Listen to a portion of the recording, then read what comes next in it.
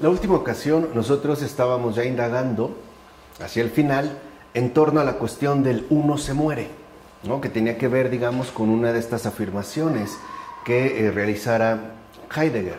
Y solo para retomar este punto y entonces ver, digamos, el desarrollo que vamos a presentar, valdría la pena ¿no? Eh, rescatar las últimas preguntas con las cuales nosotros cerramos la sesión pasada. Para empezar, ¿no? se había insistido en la necesidad de que todo ser humano está llamado siempre a testificar en todo la verdad. O sea, no podemos nosotros dejarnos extraviar por delirios intelectuales que carecerían de un verdadero sustento, es decir, de eh, un, verdadero enraizamiento o una vinculación con la verdad.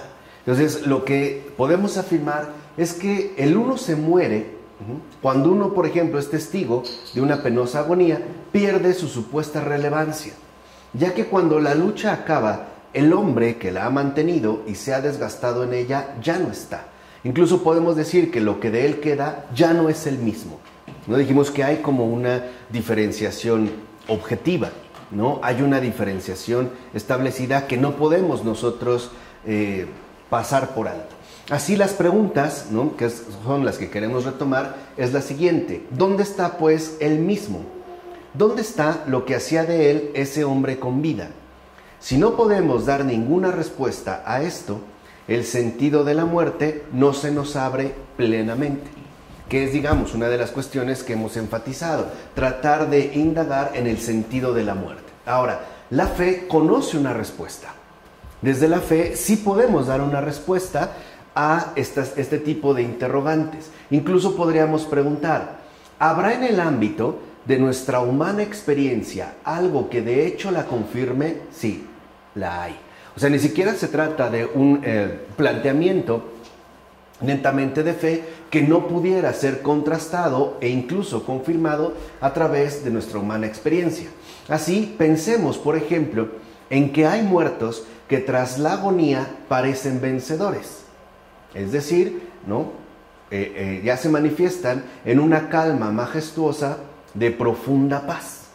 Y tan fuerte es la impresión que causan sobre los que sobreviven que la grandeza del acontecimiento mitiga incluso el dolor de la pérdida. ¿no? Ahí pues se manifestaría algo radicalmente distinto. Podría producir el mero cese de la vida, ¿no? el morir en cuanto tal, la muerte en cuanto tal, perdón, ese tránsito del ser al no ser del que habla Heidegger una impresión tal? ¿No se trataría de algo por completo diferente que anuncia su respectivo triunfo en la experiencia del morir?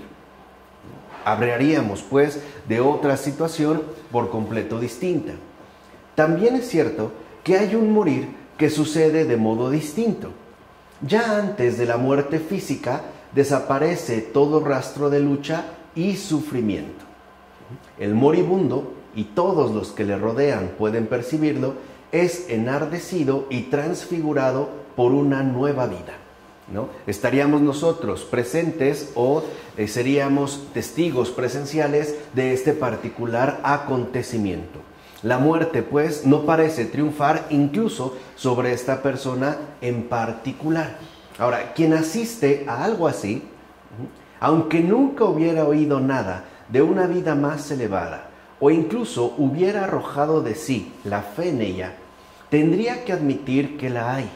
Y entonces se le abriría el sentido profundo de la muerte como lo que en verdad es. Y aquí entra la definición que Heidegger omitió. ¿Qué es la muerte? Es un tránsito de la forma de vida en este mundo y en este cuerpo a otra vida con plenitud de forma. Ese es el sentido profundo de la muerte. Entonces, la muerte, y esto hay que entenderlo bien, es un fin, pero no entendido como un término, sino como una finalidad que tiene como propósito realizar nuestro más amplio cumplimiento. En consecuencia, tampoco el Dasein, como estar vuelto hacia la muerte, no en los términos en los que Heidegger lo ha definido, está vuelto hacia el fin final, sino hacia otro nuevo ser que a pesar de la amargura y de la destrucción violenta del Dasein natural, le conduce a su más plena realización. Por supuesto, si sustituimos la vida en la gloria por el no ser, como hace Heidegger, la vida en la gracia tendrá que ser asimismo sustituida por ese adelantarse hasta el no ser. Entonces lo que vemos en realidad es que el sentido profundo de la muerte se revela como un tránsito de la forma de vida que nosotros experimentamos en este mundo y en este cuerpo a otra vida que en realidad sería la vida con mayúscula en la cual adquiriríamos nosotros esa verdadera plenitud. ¿no? Se puede ver en casos como los que hemos mencionado nosotros anteriormente. Entonces la muerte no es nuestro fin. La muerte es un tránsito que nosotros tendremos que atravesar. Finalmente, la muerte es el paso ¿no? que a nosotros nos resulta eh, ineludible para poder alcanzar esa plenitud de vida, para la cual de hecho es que hemos sido creados. Ahora, esto nos conduce a examinar si dentro del mismo Dasein y no ya en el morir o la muerte se encuentran indicios de un ser propio.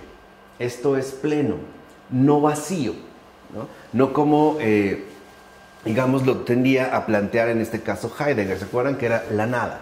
¿no? A final de cuentas, aquello en lo cual se sustentaba el Dasein. Ahora, el mismo Heidegger formula algunos enunciados al respecto, pero son más bien giros sigilosos de los que se sigue claramente que por su ser propio hay que entender algo más que el mero adelantarse hasta la muerte. ¿no? Habría pues otra cosa. Para Heidegger, como hemos visto, a la resolución pertenecen tanto eh, eh, comprender el propio poder ser, que es lo que posibilita al hombre proyectarse, como comprender la correspondiente situación, no calculable por adelantado y lo que ésta exige.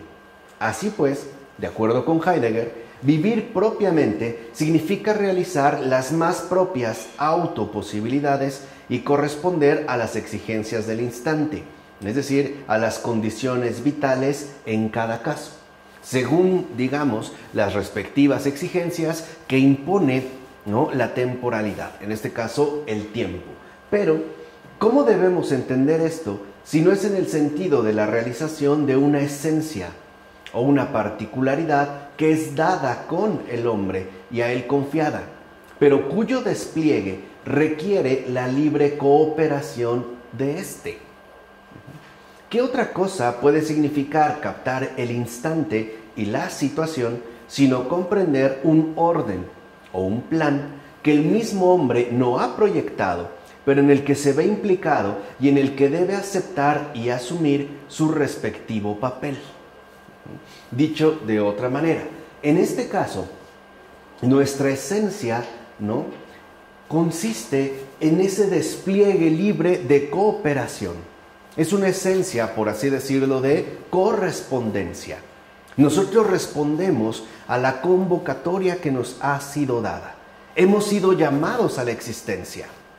Y justo para que a través de esta existencia alcancemos la vida. ¿Vale? Aquí quiero hacer como una precisión al respecto. Muchas veces decimos que lo que hemos experimentado en este mundo y en este cuerpo no es vida, debido a las múltiples complicaciones o dificultades, enfermedades, angustias, tristezas, desesperanzas que solemos atravesar, tanto en carne propia como en, los, en las personas que nos rodean. Y esta afirmación de esto no es vida, de cierta manera, contiene una intuición fundamental. Es verdad, esta no es la vida. Esta es una forma de existencia que nos invita o que nos permite poder acceder a la vida. Porque para empezar, la vida en cuanto tal no tiene nada que ver pues con la muerte. Sé que esto es un poco a veces difícil de captar porque nos hemos mal acostumbrado a suponer que esto que conocemos de esta manera en particular, o sea, humanamente, ¿no? encarnada en el mundo, es la única forma de vida posible. Y en parte tendríamos razón, porque no tenemos experiencia de esa otra vida, es decir, lo que sería verdaderamente vida. Ahora, cuando nosotros hablamos pues de esta libre cooperación, nosotros hemos sido llamados a la existencia para alcanzar ciertamente esta vida. ¿Y qué es la vida? Pues Dios mismo. Incluso, aunque una persona tuviera una existencia llena de comodidades y de lujos, no se le podría llamar en realidad vida. ¿Por qué? Porque se consumiría en simples banalidades, ¿no? O evanescencias que tarde o temprano tenderían a pasar y por lo tanto a inculcar dentro de esta propia persona un vacío, que es lo que en gran medida muchos han experimentado. Entonces nosotros fuimos creados por la vida. Somos seres vivos, pero no somos los poseedores de esta vida que de hecho se nos ofrece.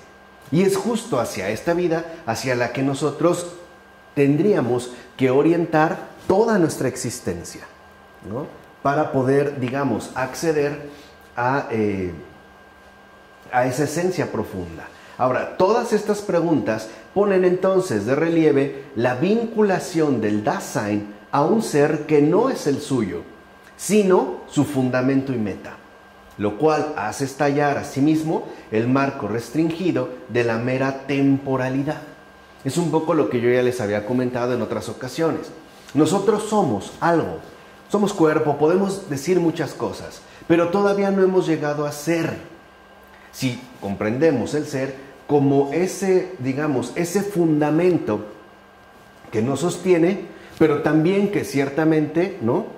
nos dirige hacia la obtención de nuestra respectiva plenitud. En términos ordinarios, por ejemplo, cada uno de nosotros puede reconocer en circunstancias eh, comunes que aún le falta mucho por llegar a ser de otra manera. Por ejemplo, solemos pensar que podríamos ser mejores, o que podría ser de este o de otro modo, o que simple y sencillamente me gustaría cambiar, por ejemplo, mi manera de ser. Esto ya entonces nos da una indicación filosóficamente esencial. El ser no es algo que está atrás y definido de una vez y para siempre. El ser se encuentra ante todo por delante de nosotros. Es nuestro porvenir. Así lo que nosotros, en pocas palabras, buscaríamos es llegar a ser lo que Dios espera de nosotros. Y eso es lo que Él me quiere ofrecer. A ser como Él. A ser verdaderamente hijos de Dios. Por eso nuestro camino o nuestro recorrido existencial también atraviesa ganancias, pérdidas y sobre todo correcciones. ¿no? Podemos avanzar en la vida dándonos cuenta que a lo mejor hemos cometido errores que nos han desviado de nuestra finalidad. O sea que no somos como debiéramos ser. No sé si esto se entiende. ¿no? O sea, en pocas palabras, que podría ser mejor o que podría ser de otra manera, según lo que Dios espera de mí. Así el ser es mi fundamento ¿no? y es mi meta. No es algo que ya está entonces plenamente definido. ¿Vale? ¿Vamos? Esto significa entonces que todo instante ofrece una plenitud que quiere ser asumida y agotada en cada caso. Lo cual en otros términos podríamos decir que cada instante conlleva inserto un compromiso de eternidad. En cada instante lo que en realidad se pone en juego es el ser que me ha sido ofrecido.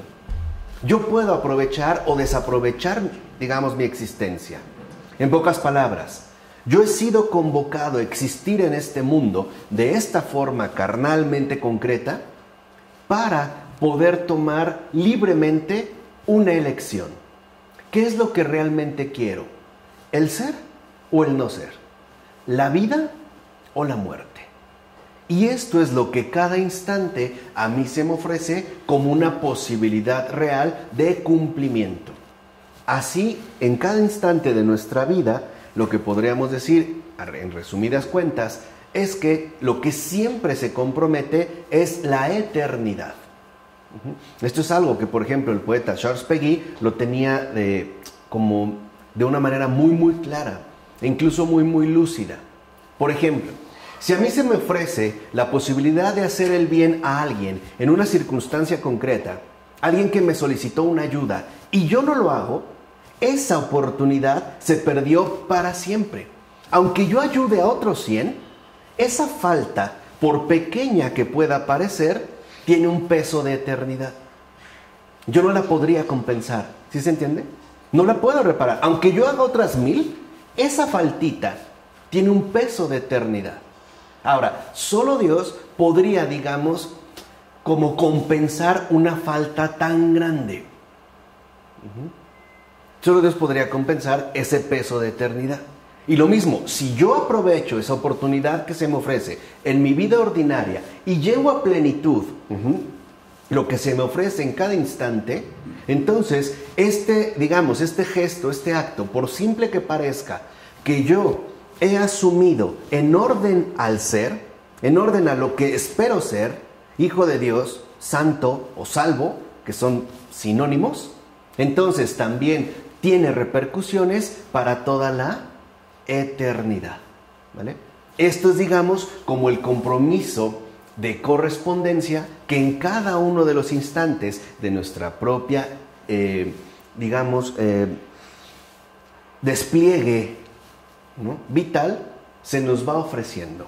Ahora, aquí, ¿no? Pero aquí no hay que entender instante en el sentido de un mero punto en el tiempo o sea, un tramo absolutizado entre la extensión del pasado y la extensión del futuro, sino en el sentido de contacto de algo temporal con algo que en sí mismo no lo es, pero que penetra y se entraña en la temporalidad para que nos abramos y nos entreguemos a Él. Entonces, este instante no hay que entenderlo como, dice en este caso eh, Edith Stein, como un tramo absolutizado, un punto, pues, ¿no? entre el pasado y eh, la extensión del futuro, sino como un contacto. Cada instante de nuestro despliegue de vida, de nuestro despliegue vital, es un contacto entre la temporalidad en la que estamos inmersos y la eternidad que se nos ofrece. No sé si esto eh, se entiende. Vuelvo a repetir, puede parecer un poco confuso al principio, porque estamos habituados de cierta manera a considerar que el ser es algo estático, fijo e inmutable, que no cambia para nada y que ya está dado sobre todo por detrás, no está el ser. No, en realidad viene por delante, es justamente lo que se nos ofrece, de tal forma que entonces el contacto concreto y real entre el tiempo y la eternidad es lo que se llama instante. Por eso uno debería tomarse en serio cada instante de su existencia, porque pesa. Incluso los momentos para orar o eh, los momentos para no descansar, para actuar o para dejar de hacerlo, para hablar o para guardar silencio. En pocas palabras, a nosotros se nos ofrece o se nos dio una condición temporal, porque es la manera en la cual podemos entrar en contacto con la eternidad. ¿Por qué? Porque no somos Dios. Al ser criaturas, somos finitos. Y al ser finitos, requerimos un modo distinto, en este caso temporal, que no nos prive de esa presencia de eternidad. De tal manera que entonces el tiempo, ¿no? Fue hecho para nosotros. Y en pocas palabras, para nuestro beneficio. Por eso, aprovechar el tiempo significa no perder ese contacto vital entre la temporalidad y la eternidad. Eso sería aprovechar el tiempo. Si lo ven, no se trata solamente de hacer muchas cosas. Piensen en alguien que se ha, ah, consagrado a la vida contemplativa. Podemos decir que en realidad no hace mucho. Y sí, o sea, en términos temporales no hace mucho, no tiene una gran productividad. ¿En qué consiste entonces su grandeza? Que eso es lo que Lutero y los demás protestantes no entendieron. ¿En dónde está la, grandeza, por ejemplo, de la vida consagrada, especialmente de la rama contemplativa? ¿En dónde está su grandeza? ¿Qué es lo que realmente la engrandece de esa manera? No lo que hace, no lo que produce, sino el contacto permanente con la eternidad. Esto es lo que literalmente la engrandece. De tal forma que entonces, ¿no? Cada, su vida entera, su despliegue vital, su existencia, se transforma en un instante permanente, ¿no? O sea, en un contacto permanente y continuo del tiempo y la eternidad. ¿no? Por eso se habla de que una persona se consagra a Dios, ¿no? O se consagra por completo a Dios. Aquí vendría una pregunta, ¿y el laico? Entonces, no puede alcanzar también, digamos, este contacto de permanencia entre lo temporal y lo eternal, que sería la palabra adecuada para usar en este caso, claro que sí. La diferencia entre el consagrado y el laico consiste en que para el laico, sus instantes, cada uno de sus instantes en el estado de vida que ha sido colocado, representan el compromiso a cumplir en plenitud. Serían dos modos distintos de compromiso. Pero mientras, por así decirlo, vamos, vamos a, tratar de ponerlo en esta imagen, mientras el contemplativo ¿no? trata de hacer descender la eternidad al tiempo, abriéndose, el laico trata de elevar la temporalidad a la eternidad, ofreciéndola. Pero a final de cuentas, ambos se mantienen en un contacto permanente. Así pues, puesto que nuestro ser es temporal, necesitamos apropiarnos de ese algo que ciertamente no lo es, o sea, la eternidad. La eternidad es lo único que compensa nuestra temporal indigencia. Si no hubiese eternidad, nosotros literalmente seríamos tragados por un vacío. Ni siquiera podríamos tener un momento de vida, porque no habría este sostén que nos garantizara a nosotros una respectiva continuidad. Si todo fuera si todo fuera nada, si todo fuera vacío, entonces literalmente nosotros ni siquiera podríamos considerar algún momento, por breve que fuera, de existencia. De hecho, que nuestro ser podamos acogerlo atemporal y que algo conservemos de ello, a pesar de la volatilidad de nuestro ser temporal, eso que Heidegger llama siendo locido, es un conservar, prueba que nuestro ser no es temporal sin más. Es decir, que nuestro ser no se agota en la temporalidad. Por eso nuestra vida, ya, ya, entendimos bien la, diferenciación eh, importante que hicimos al respecto, por eso es que nuestra vida no se acaba en el tiempo, no se agota en el tiempo. Siempre queda un resquicio, por mínimo que sea, de algo todavía más grande. Por eso en la antigüedad no era casual que se insistiera tanto, por ejemplo, en la fuga mundi, en el escapar de este mundo que parecía ¿no? privarnos de toda expectativa de trascendencia. Este es, digamos, lo que en este caso se puede exponer. Nuestro ser no se agota en la temporalidad, incluso en gestos que nos pudieran parecer de lo más comunes y corrientes. Y se puede ver en un sentido bastante práctico. Cuando uno siente ¿no? una verdadera afinidad por algo o por alguien, uno trata de establecer un vínculo permanente. Es más, un vínculo tan fuerte que supere cualquier tipo de obstaculización temporal. En pocas palabras, cuando uno tiene realmente un afán profundo, lo busca sustentar en su verdadera raíz, o sea, lo eternal. Cuando una persona se enamora, y se decide acercarse a la otra, por ejemplo, y le dijera, oye Amanda, ¿te quieres casar conmigo? Y Amanda me dijera, sí, yo le dijera, ah, pero nos vamos a divorciar. De entrada, algo se rompe. ¿no? O si alguien dijera, vamos a tener un hijo, sí, pero se va a morir. O sea, algo ahí finalmente se desmorona. Para nosotros, algo así no tendría ningún tipo de sentido. Simplemente no haríamos nada si, todo, si no fuera sustentado por algo atemporal, por algo todavía mayor.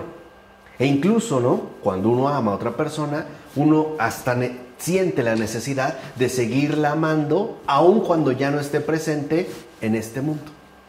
¿no? Buscamos, pues, este fundamento eternal.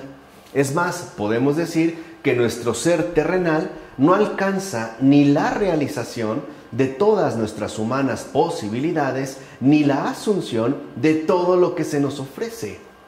Ni siquiera, aunque nosotros despleguemos toda nuestra potencialidad terrenal, no por ello alcanzaríamos todas nuestras verdaderas humanas posibilidades.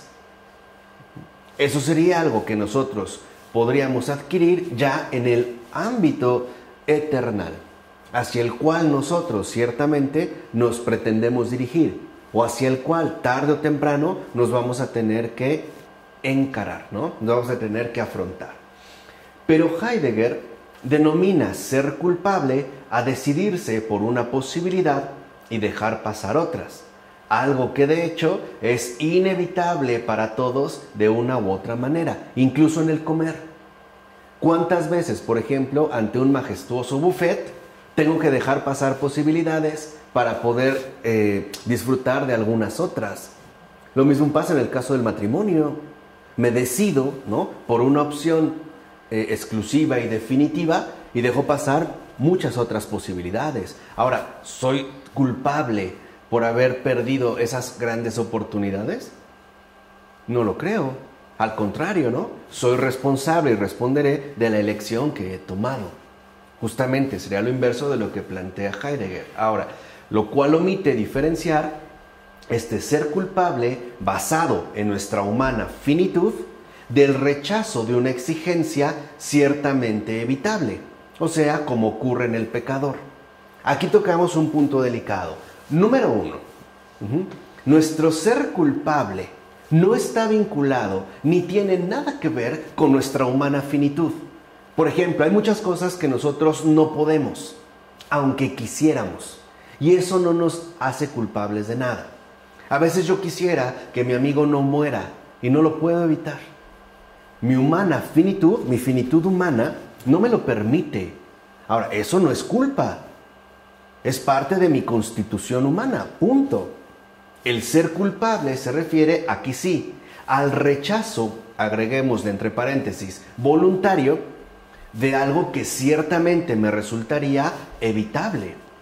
En pocas palabras, que un humano sea finito no es lo que eh, validaría que un humano opte por el mal o que un ser humano se haga malo. Esto sí no porque a nosotros nos resultaría ciertamente evitable.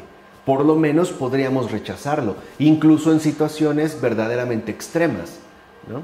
Nunca, vamos, el mal no nos es en lo absoluto necesario. No necesitamos del mal para nada. No forma parte de nuestra constitución más profunda y más esencial.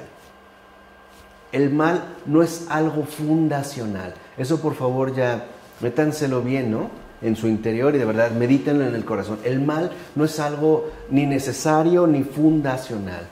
Es más, el mal ni siquiera es algo eterno. Lleva un peso de eternidad. La caída, por ejemplo, del demonio también es una falta eternal.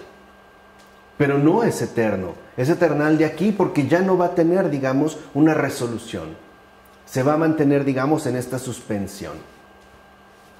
Pero no es ni siquiera algo eternal, porque Dios no es malo, ni tiene nada, absolutamente nada de malo. Y antes de todo lo creado está Él. Quiere decir que entonces, en el fondo de todo, lo que realmente es necesario es el bien. En todos y cada uno de los casos, en todas y cada una de las circunstancias. Por eso es que la iglesia nos enseña de manera muy básica, por ejemplo, que mentir no está bien, porque nos es evitable. O sea, no hay manera de poder justificar, por ejemplo, una mentira, o un homicidio, o un fraude, o un abuso. Nada de eso nos resulta necesario. No somos una mezcla de bien y mal, una especie de híbrido, ¿no? No, no nos es necesario arraigado en nosotros, cierto. Podemos hablar de pecado original. Incluso podemos hablar de pecado habitual, ¿no? En el que debido a nuestra eh, debilidad podemos incurrir. Sí, pero a pesar de que yo pueda incurrir en pecado, puedo literalmente rechazarlo de mi configuración. Si no, entonces ¿para qué carajo me confieso? Yo no voy a confesarme literalmente que soy malo, sino vengo a exponer el mal que he cometido, ¿o no? El malo solo es uno, y ese es el demonio, el cual quiere infectar a todos de ese mal. Y esto también es algo importante porque muchas de las teorías contemporáneas empiezan a exponer al ser humano como alguien de entrada malo. Es más, que incluso necesitaría del mal ¿no? para alcanzar su mayor realización, por lo menos una cierta dosis. Sería incluso la parte interesante o profunda ¿no? o excitante de la plenitud humana. Acuérdense lo que nos enseñó Charles Taylor en la era secular. ¿no? Se mete como un ingrediente que le daría, digamos, ese toque de majestuosidad o lean a Lord Byron, por ejemplo, o Nietzsche, o en general los que nosotros hemos visto. No, no se necesita para nada. No nos es necesario en lo absoluto. Ahora, si nosotros eh, tenemos a ver, un ser culpable, es porque hemos sido culpables de no haber evitado lo que de entrada nos resultaba evitable. Es lo que el Señor nos dijo en la Escritura, ¿no? A nadie le he dado permiso para pecar. Lo que nos está diciendo es, el mal no es necesario. Y siempre tenemos la posibilidad de rechazarlo. Ahora, si incurrimos en el mal, ¿no? Pues lo puedo también rechazar de mi vida. como A través del arrepentimiento. ¿Qué es el arrepentimiento? No es el reconocimiento del mal que he cometido, pero al mismo tiempo la apertura para que la gracia de Dios obre en mi vida y esto no se vuelva a repetir de aquí en adelante? O sea, el arrepentimiento es fortaleza de esperanza. El arrepentimiento, su fuerza motriz, o sea, su verdadera fuerza eh, esencial del arrepentimiento es de esperanza. Esa es la diferencia con la mera culpa. La culpa nos hace volver a un pasado que no podremos cambiar y que definitivamente nos hunde. No, pero eso no es cristiano.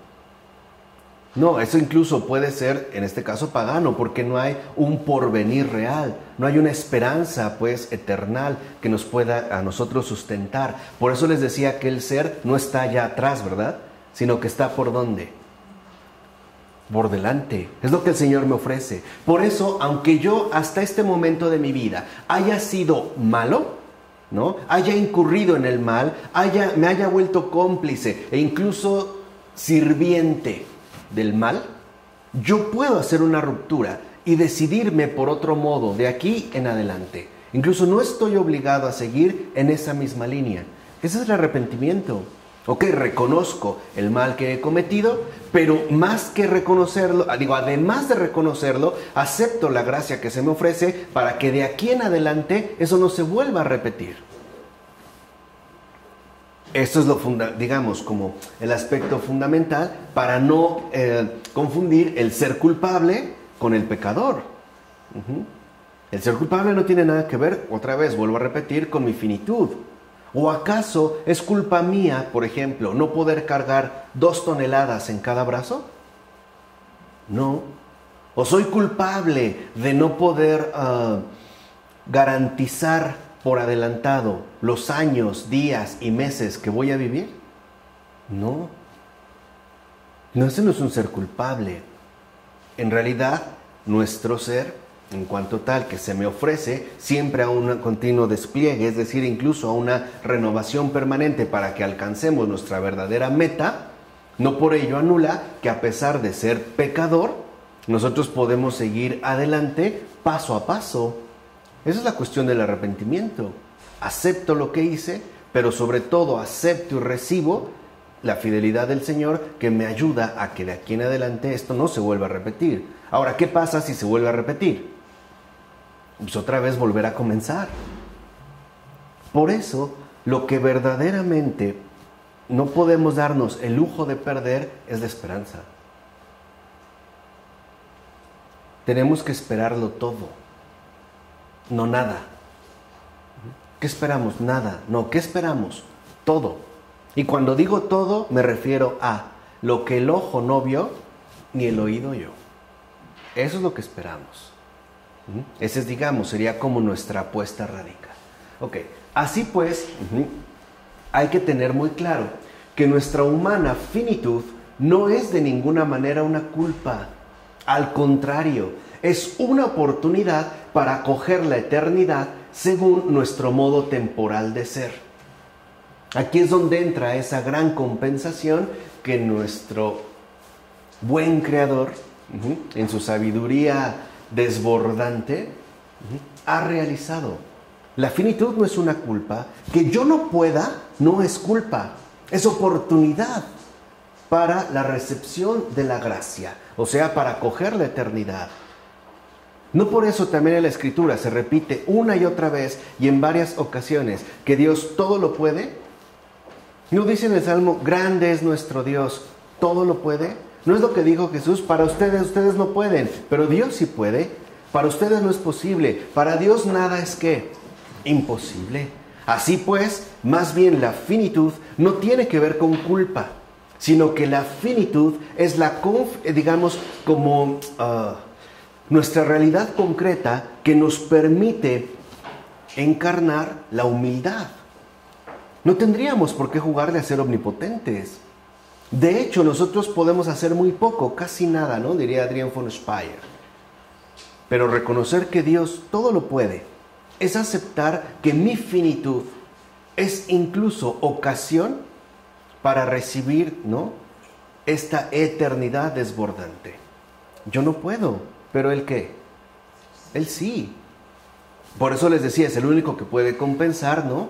Digamos, este peso de eternidad que bascula entre el antes y el después, ¿no? Tanto por detrás como por delante. Ahora, por otra parte, Heidegger idealiza al resuelto cuando afirma que éste nunca pierde tiempo y siempre lo tiene para lo que el instante exige de él. No es verdad. Ya que incluso el santo, que es quien más se aproxima a este ideal, lamentará muchas veces que le falte el tiempo necesario para poder corresponder a todo lo que de hecho se le exige. Incluso el santo, ¿eh? Y que sería, digamos, el que más se acercaría al ideal del Dasein. Incluso ante distintas posibilidades a elegir, aún el santo no será siempre capaz de elegir la mejor. Porque aún el santo es, forma parte de nuestra humana finitud. Aún él, aún el santo, en pocas palabras, ¿no? Se dará cuenta de que aunque ha aprovechado el tiempo al máximo, ya entendemos la expresión, ¿no? En base eh, a las definiciones que hemos dado anteriormente, algo se le ha ido algo no ha cubrido, no lo ha podido cubrir absolutamente qué? Todo, por lo menos no todo lo que de hecho se le exige. Hay muchas cosas que en definitiva se le van de la mano. E incluso en el momento de elegir, ¿no? Aunque el santo nunca pierde el tiempo, ¿no? Y lo tiene y lo retiene, ¿no? Para, vamos, realizar la voluntad de Dios, aún entre lo que pueda elegir, tampoco significa que elegirá lo mejor. O sea, Él no es el que tendrá absolutamente todo bajo control. No sé, pensemos en el Padre Pío, San Pío de Pietrelcina, que es una también de las grandes luces ¿no? de, estos tiempos. Antes de morir, ¿no? el Padre Pío de Pietrelcina dijo dos cosas que habría que meditar con seriedad. La primera es, si en vida he hecho ruido, muerto voy a ser más. Ahora sí empezará mi escandalazo. Y la segunda, yo no entraré al cielo hasta que no haya entrado el último de mis hijos, el último de los que Dios me encomendó. Aquí, o sea, él no es que diga, ah, pues ya, ya aproveché, hice lo que tenía y listo, a descansar, que empiece la fiesta. Ahora en esas circunstancias, eso es lo que quiero que vean, o sea, aún el santo se dará cuenta de que aún así no pudo corresponder a todo lo que de hecho se le quede se le exigía. Incluso es capaz de llegar a la renuncia de la beatitud hasta que el último llegue sano y salvo. Esa es la extensión plena del amor. Esa es, digamos, la, realización eh, auténtica de este ideal. Ahora, en todo caso, y eso es lo importante, el santo encontrará paz en la confianza de que Dios preserva de una fatal equivocación a quien es de buena voluntad. Eso sí. Ok, vamos, no fue la mejor elección, pero tampoco se trata de una, fatal, de una fatal equivocación. Y que Él conduce incluso sus propios errores involuntarios a buen fin a pesar de Él mismo. Es decir, Dios es lo ilimitadamente abierto, no el Dasein.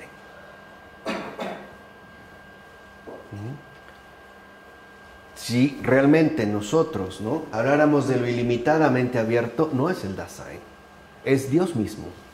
Ni siquiera los santos alcanzarían lo que Heidegger pretende atribuirle al Dasein. Es decir, ¿no? Al ser humano tal y como lo encuentra. Aquí habría pues una cuestión totalmente distinta, porque Dios no tiene fallos. Dios sí literalmente aprovecha todo el tiempo, o mejor dicho, todo el tiempo siempre está orientado hacia su voluntad, hacia su favor. Este sería pues el, eh, el verdadero sentido pues que se abre de la temporalidad. Así pues, la insuficiencia de nuestro ser temporal para el pleno despliegue de nuestra esencia, es decir, insuficiencia para apurar lo que se ofrece a nuestro ser para que lo asumamos y poseamos en pleno recogimiento, es una indicación clara de que el ser propio del que somos ciertamente capaces en la temporalidad no es todavía nuestro ser último. Aún no. Acuérdense, somos, pero aún no hemos llegado a ser. Somos, pero aún no hemos llegado a ser. Pero Heidegger hace del Dasein no un recogimiento receptivo, sino un activo ser último y primero en cuyo correr se vacía de nada en nada, incluso por adelantado. Que no es otra cosa más que, ¿no? La, eh, digamos, como la fidelidad que ahora Heidegger en efecto presenta al paganismo. Eso es lo que ocurre con el alma pagana. Se transforma en un activo ser último y primero, pero en cuyo correr se va vaciando de nada en nada, incluso por adelantado. Si no hay nada, no se ha revelado nada, pues entonces finalmente, ¿qué nos espera? Nada. Todo sería vacío y muerte, ¿no? Pero el hombre, en cuanto tal, exige ser. Es decir, no quiere abandonar lo que da plenitud y desearía más bien ser sin fin y sin límites para poder poseerlo para siempre. Por ejemplo, alegría sin fin, felicidad sin sombras, amor sin límites, vida sin muerte, acción sin decaimiento, sosiego completo, paz perpetua, liberación de todas las tensiones. Ese sería, digamos, como uno de los anhelos ¿no? enmarcados que nosotros tendríamos. Y es esto justamente lo que, le lo que le ofrece la gloria eterna, en tanto cumplimiento pleno de nuestra humana exigencia de ser. ¿En qué consiste nuestro ser? En la gloria eterna. Vida sin muerte, salud sin enfermedad, gozo sin eh, tristeza, etc. ¿No es esa imagen muy bella que describe el Señor, por ejemplo, en el eh, Antiguo Testamento de yo mismo los consolaré, los sentaré en mis rodillas, ¿no? Y les enjugaré todas y cada una de sus lágrimas. Ya no habrá más muerte ni llanto. Será el fin del dolor. Es lo que nos está diciendo. Esa es la gloria eterna. Entonces podemos decir somos, pero todavía no hemos llegado a ser. O sea, todavía no hemos llegado a esa gloria eterna que nuestro propio Creador nos ha ofrecido desde el principio. ¿Cuál es el modo en el que conseguimos la eternidad? Pues a través del tiempo. Nosotros lo hacemos a través ¿qué? del tiempo. ¿Los ángeles lo necesitaron? ¿Los ángeles necesitaron de tiempo para acceder a la eternidad? No. Claro. Ellos no, tienen la misma condición temporal que nosotros. Por eso los que se mantuvieron fieles, fieles, los que confirmaron su ser, quedaron ya para siempre, de una vez y para siempre, como qué? Como ángeles. Los que rechazaron el ser que se les ofrecía de la gloria eterna, quedaron ya de una vez y para siempre como demonios. Nosotros no somos así, porque no somos espíritus puros. Nosotros tenemos una realidad distinta. Por eso a nosotros sí se nos ofrece el tiempo. El, un tiempo, ¿no? Que sea verdaderamente fecundado por la eternidad. En términos más comunes, es lo que luego se suele expresar en términos de recepción de la gracia.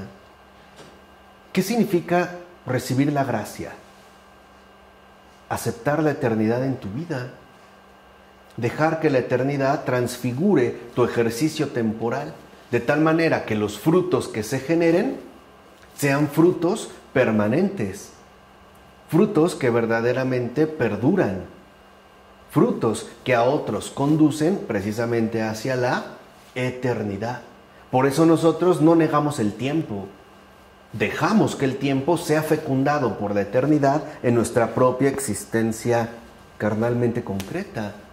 Por eso tenemos momentos, ¿no? Hay unos momentos, pero nunca desligados de, eh, digamos, el contacto con lo eternal, o sea, la fecundación con la gracia.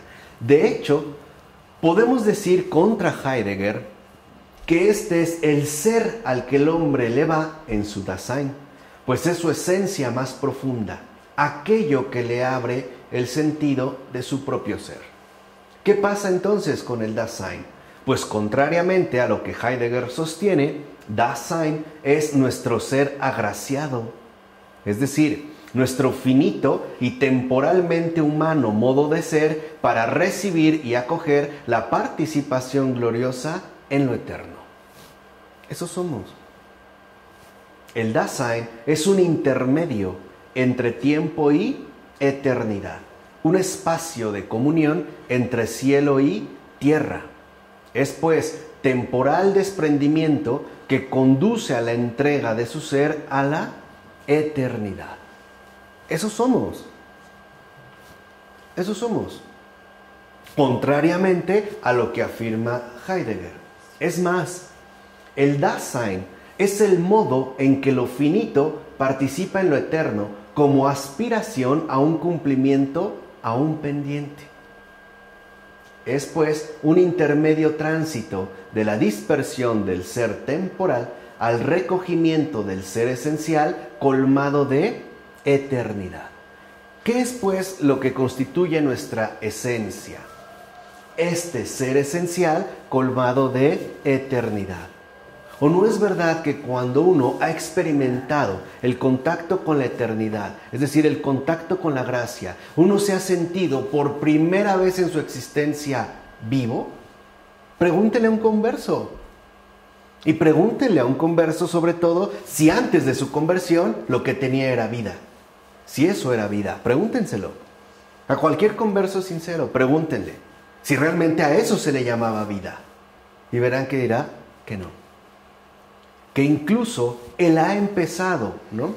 a experimentar la vida a partir de este contacto en tanto intermedio tránsito ¿no? de, lo de lo temporal con la eternidad, del encuentro con Dios, de la aceptación de Dios en mi existencia. Porque Él mismo lo dijo, yo soy el camino, la verdad y qué? La vida. Él es la vida. De tal manera que literalmente el que no lo acepta en su existencia no vive. Se quedaría en el nivel desamparado del existente. Ese sería el verdadero desamparo existencial. Por mucho que nosotros veamos que, las, que nos engañarían las impresiones inmediatas que tendríamos, por ejemplo, una vida colmada ¿no? de, eh, de lujos, de placeres, etc., creo que no hay que pensar demasiado para darnos cuenta que en realidad eso no es vida. O no es una de las cosas que tanto nos han insistido, por ejemplo, en que recapacitemos los padres de la iglesia. ¿Cuál fue una de las lecciones más importantes y hermosas que recibimos del gran San Basilio? Cuando hablaba de los ricos y los pobres. ¿No decía que en realidad esa no es vida? ¿O a eso que llamamos vida en realidad no lo es? Sería estar plenamente perdido en, las tinieblas del error, ¿no? En la ceguera pues del extravío. Así, en este caso, lo fundamental es que el Dasein corresponde a la manera de ser del cumplimiento, que nos permite comprender la consumación del ser en plena consistencia. Pero la incomprensión de Heidegger con respecto al Dasein en tanto ser del hombre apunta en todo caso a ser de él el ser del hombre irredento. Por supuesto, en términos puramente históricos y no metafísicos, según su apego total al antiguo paganismo. Lo que trata de proponer Heidegger es volver a ese ser del hombre irredento. Por eso les decía, tiene que irse atrás. Y tiene que irse hacia atrás en sentidos temporales, o sea, en sentidos netamente históricos. Ahí sí, en sentido literal, antes de Cristo. Antes de Cristo, ese antes originario, ¿no? Que no, que no tendría que implicar para nada una, eh, digamos, la realidad metafísica. Ahora, ¿por qué irredento? ¿Por qué podríamos hablar del irredento, en general del alma pagana?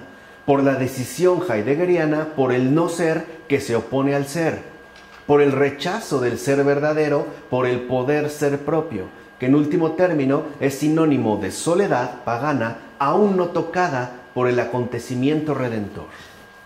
Eso es lo que Heidegger ha venido a contagiar en el mundo. Esa soledad pagana aún no tocada por el acontecimiento redentor.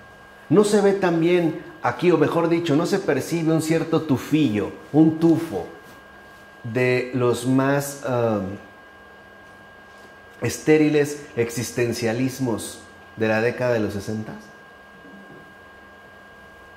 No se percibe, ¿no? Ese hedor que, que desprende esa soledad pagana, aún no tocada por el acontecimiento redentor. Es eso en lo que se ha afanado tratar de, eh, de revivir, de reinstaurar yo recuerdo nada más lo que Jesús decía, dejen que los muertos entierren a sus muertos. Ahora, por eso Heidegger niega y se opone al ser fundador de todo ser creado, o sea, el ser divino, para ser de uno mismo ese yo arrojado hacia atrás, es decir, hacia sí mismo en el paraje desolador propio del paganismo, donde reina la muerte y la nada en franco vacío. Por eso yo no me siento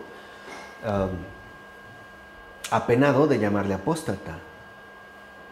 Esa es la apostasía, el renegar de la verdad para tratar de encontrar una vía alternativa. Ahora, en este sentido, Heidegger ni siquiera es coherente con el acontecer histórico, pues hace que éste se revierta en una dirección por completo contraria e inconsistente hacia atrás, muy atrás, a su sucesión, incluso temporal de concreción. Heidegger va de aquí hasta atrás, muy atrás, cuando la historia viene de muy lejos hasta acá.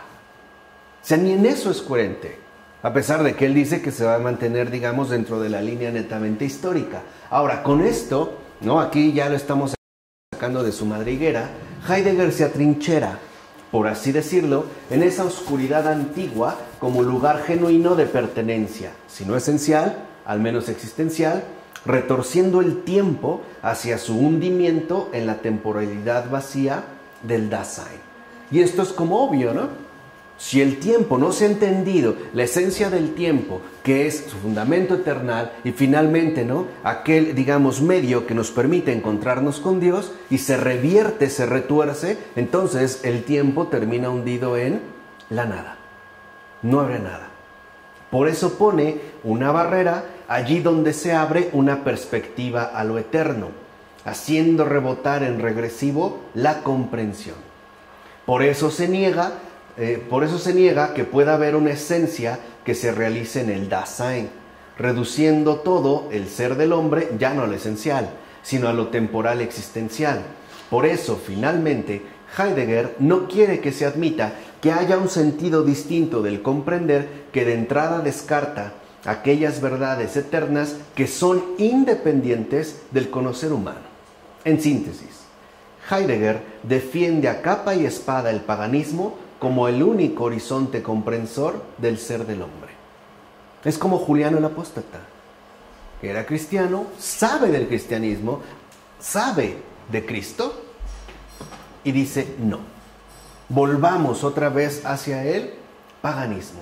Vámonos de regreso. Vámonos otra vez hacia atrás, ¿no? Atrincherándonos en esta comprensión antigua, arcaica, ¿no? De lo viejo, de lo viejo que quiere ser en este caso renovado.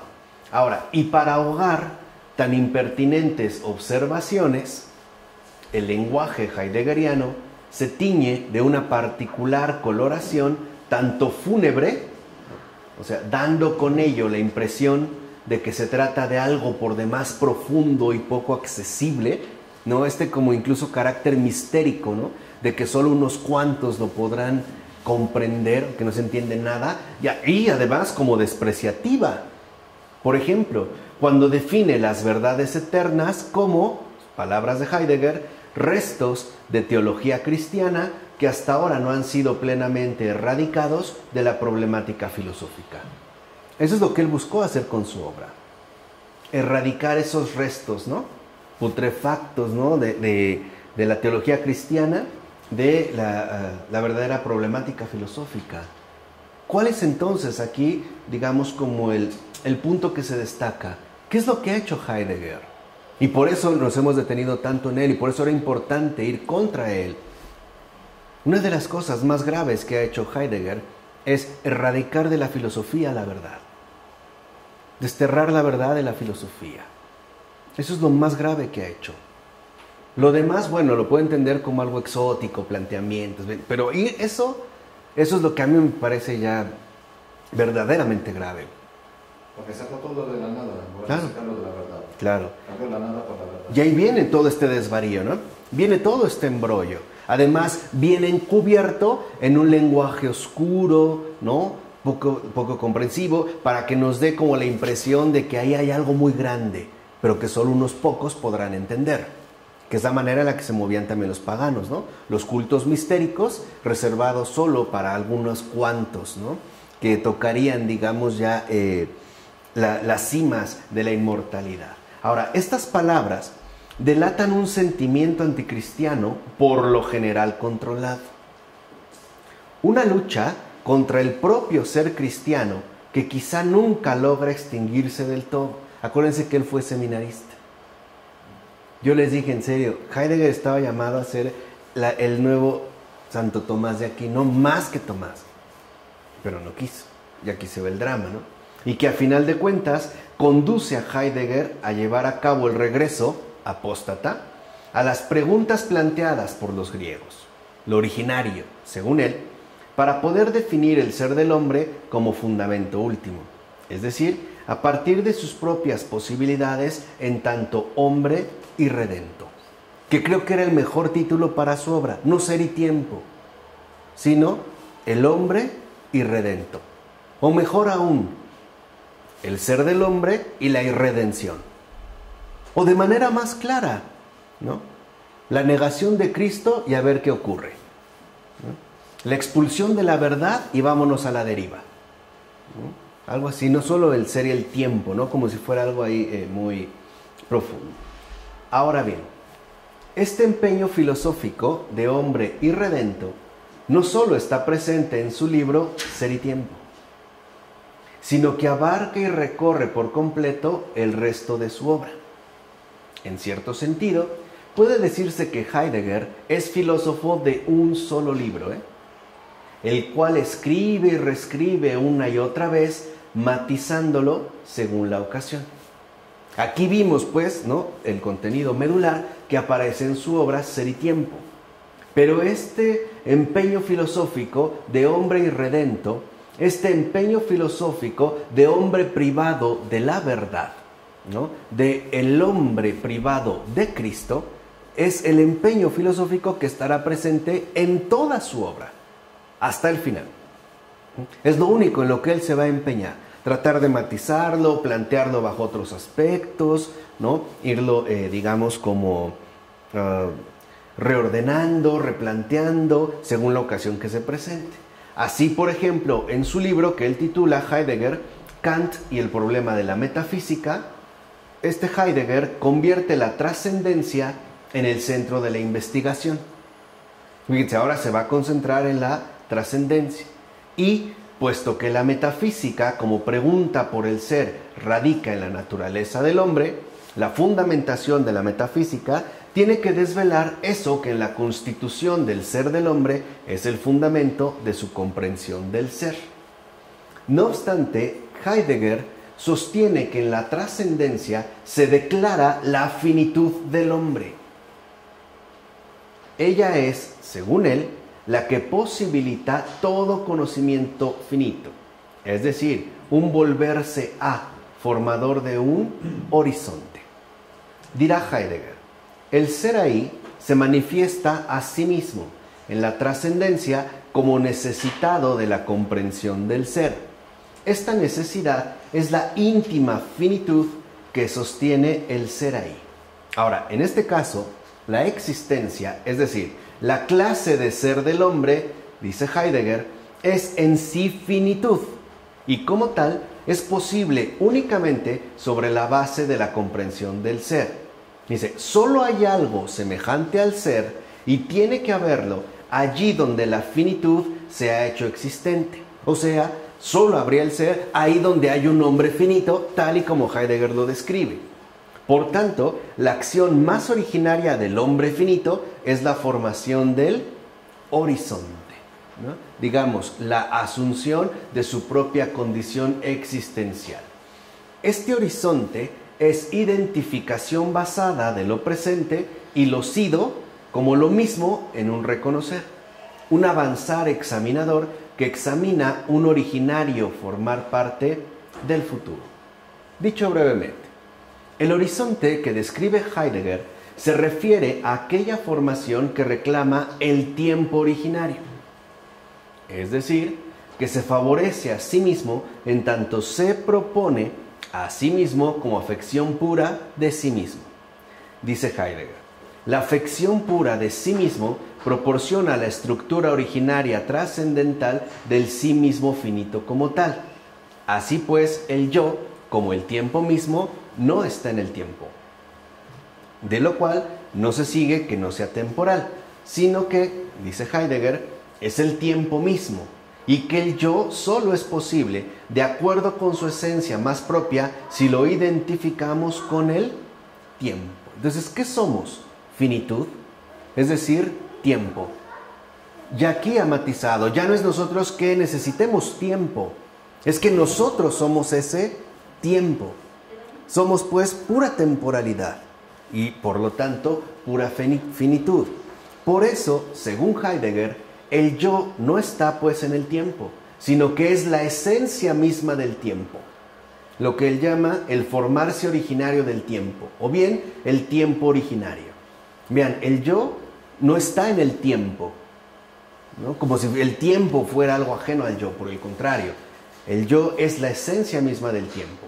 Así pues, el tiempo originario es el fundamento último al que se remonta la comprensión del ser. Y la necesidad de la comprensión del ser se funda en la finitud como constitución fundamental del ser del hombre. La fundamentación es pues la finitud del hombre. ¿Qué es lo que hay que fundamentar como trascendencia? La finitud del hombre. Así, según Heidegger, con la trascendencia o el estar en el mundo, se realiza la proyección del ser según la íntima finitud que sostiene al ser, obviamente finito.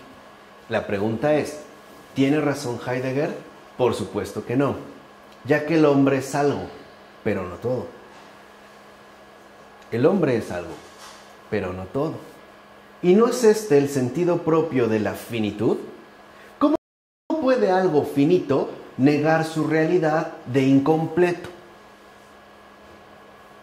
Si yo afirmo que algo es finito, es porque en efecto reconozco que se trata de algo incompleto.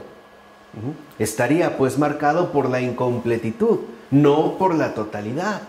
De hecho, la finitud solo puede concebirse por oposición a la infinitud, es decir, por oposición a la plenitud eterna del ser. Y eso es lo que hace Heidegger, oponerse a la plenitud eterna del ser. Oponerse a la plenitud eterna del ser que nos brinda la verdad. Así pues, la comprensión del ser de algo finito ya es como tal irrupción de lo finito en lo eterno. Esa es la tesis fuerte, por ejemplo, que Dieter Stein va a manejar en ser finito y ser eterno. Es decir, lo finito está esencialmente condicionado a causa de lo infinito. Esto es, toda finitud temporal está subordinada a la eternidad infinita. Ahí se encierra el sentido de la finitud.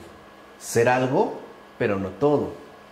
Y este sentido no se cumple solo en el hombre, sino en toda cosa que no sea Dios. Por ejemplo, una manzana es algo, pero no es todo ni aunque quisiéramos absolutizar el propio yo humano. Pero Heidegger se niega a tal reconocimiento y queda aferrado a la comprensión del ser del hombre como pura finitud. Ahora bien, a esta postura cabe oponer reservas desde dos puntos de vista.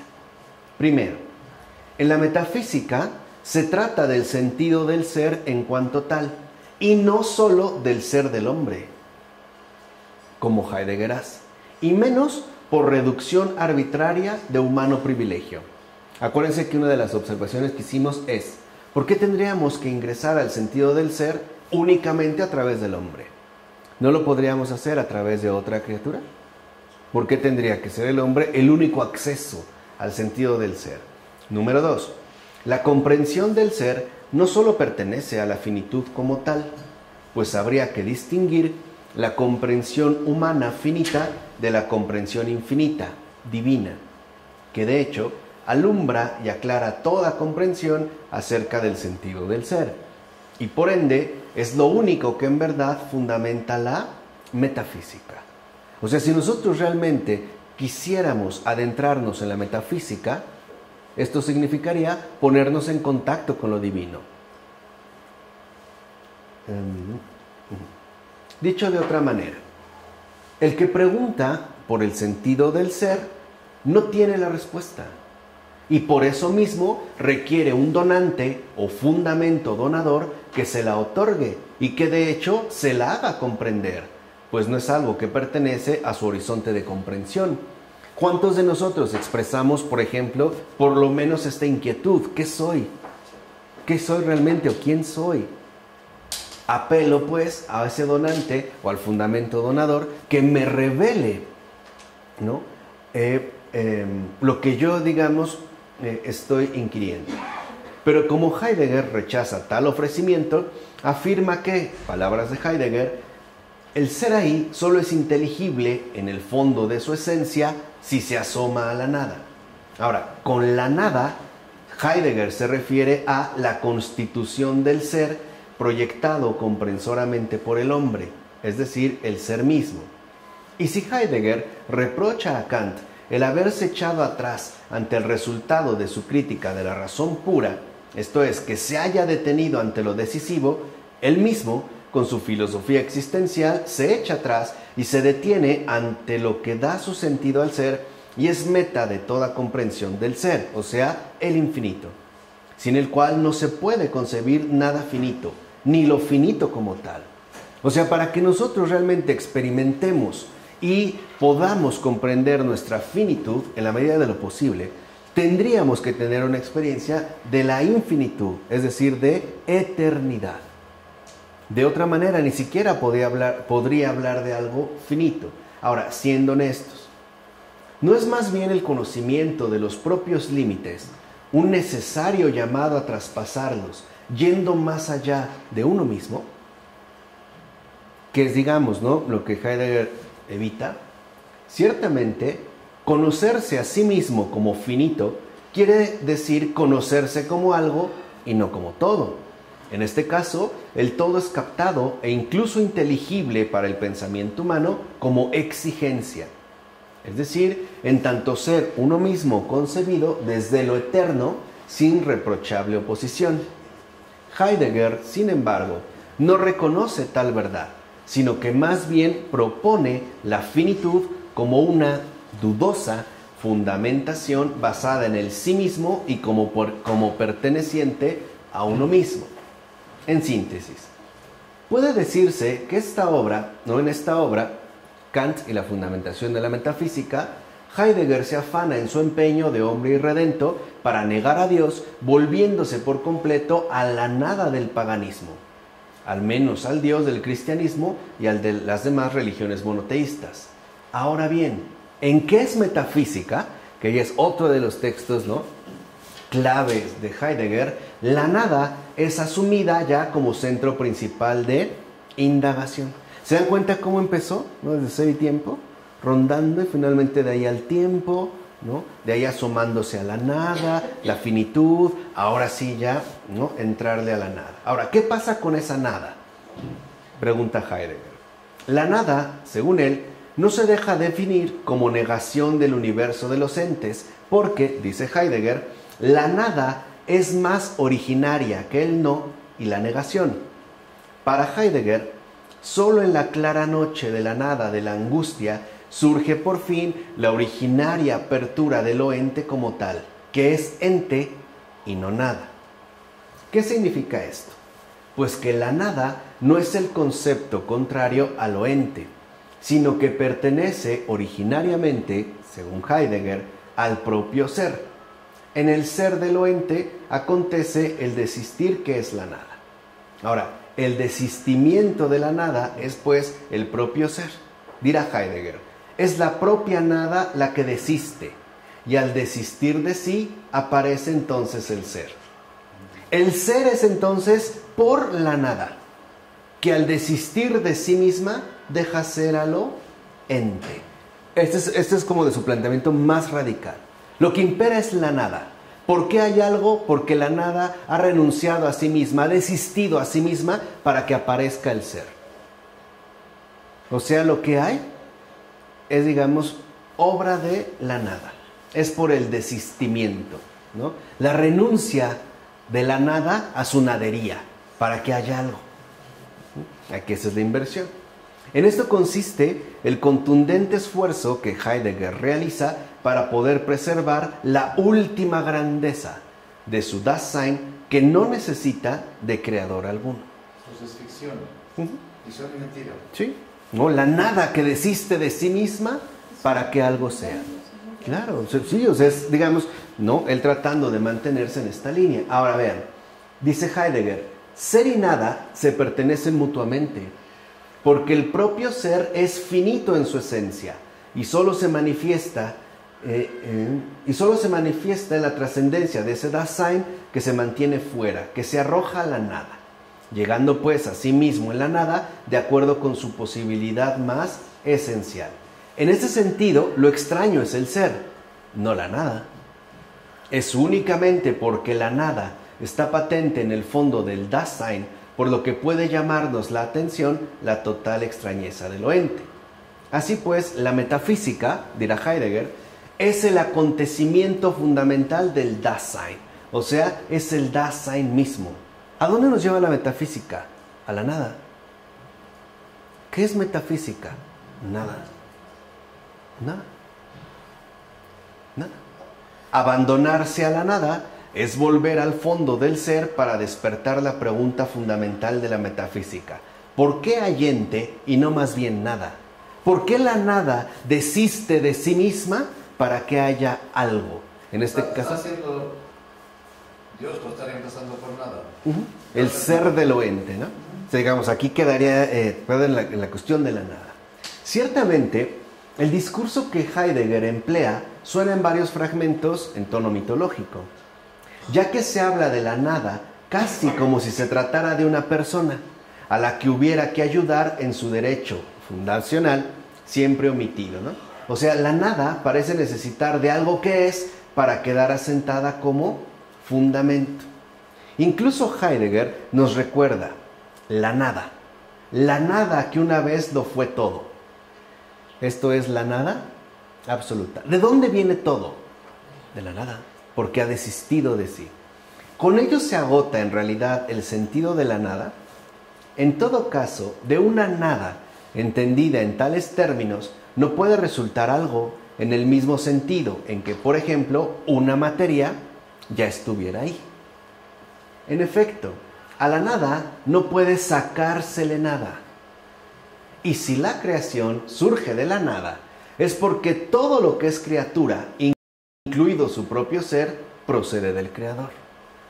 Así pues, lo que una vez fue todo, por supuesto, antes de la creación, es el Creador que es Dios, no la nada, no la nada absoluta.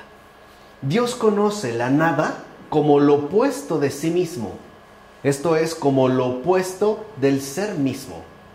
Y esta idea de la nada está presupuesta en todo lo finito, que es algo y no todo, y cuyo sentido incluye el no ser Dios por parte de lo creado. Así pues, no es que el cristianismo, como supone Heidegger, no pregunte por el ser ni por la nada, sino que más bien alecciona. En efecto, la revelación de la nada en nuestro propio ser significa al mismo tiempo la irrupción de este nuestro ser finito y en principio nulo en el ser finito, puro, eterno.